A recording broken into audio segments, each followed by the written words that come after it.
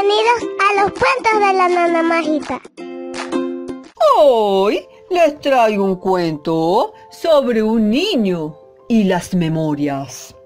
Había una vez un niño llamado Guillermo Jorge Manuel José. Y saben, ni siquiera era un niño muy grande. Su casa quedaba al lado de un hogar para ancianos y conocía a todas las personas que vivían allí.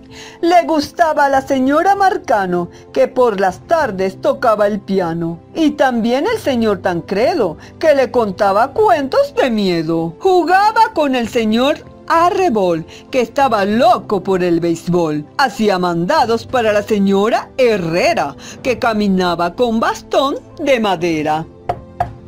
Y admiraba al señor Tortosa Escalante, que tenía voz de gigante. Pero su amiga favorita era la señorita Ana Josefina Rosa Isabel. porque tenía cuatro nombres igual que él. La llamaban señorita Ana y le contaba todos sus secretos.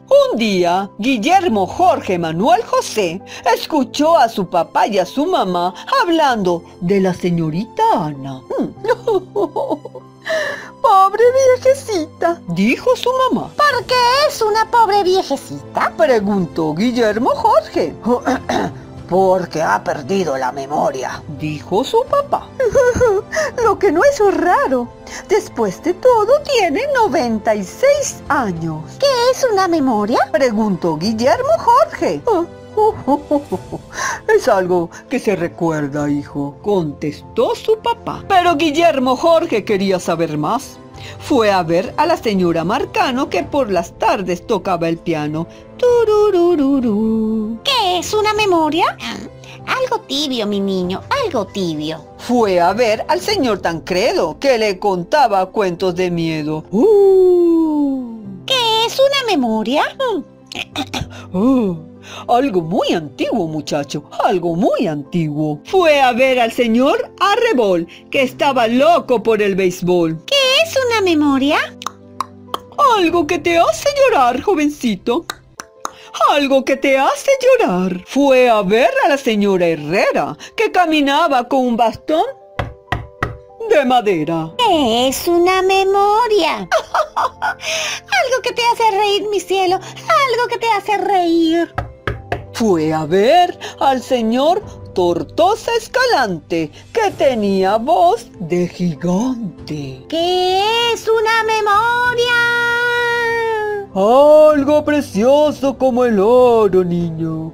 Algo precioso como el oro.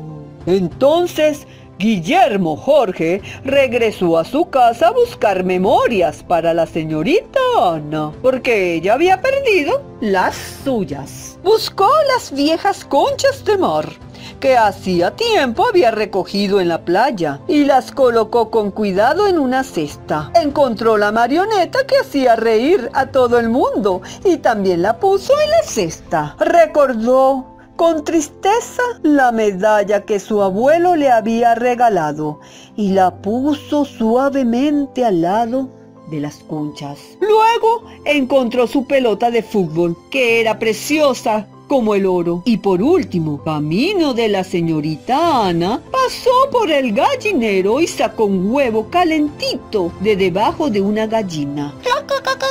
Entonces Guillermo Jorge se sentó con la señorita Ana y le fue entregando cada cosa, una por una. Ay, qué niño tan querido y extraño que me trae todas estas cosas maravillosas. Pensó la señorita Ana y comenzó a recordar. Sostuvo el huevo tibio en sus manos y le contó a Guillermo Jorge de los huevos azules que una vez encontró en el jardín de su tía. Acercó una concha a su oído y recordó cuando viajó en tren a la orilla del mar hace muchos años y el que sintió en la playa con sus botines altos. Tocó la medalla y habló con tristeza de su hermano mayor, que había sí, que había ido a la guerra y no había regresado jamás. Se sonrió con la marioneta y recordó la que ella hizo una vez y cómo su hermana pequeña se reía con la boca llena de avena.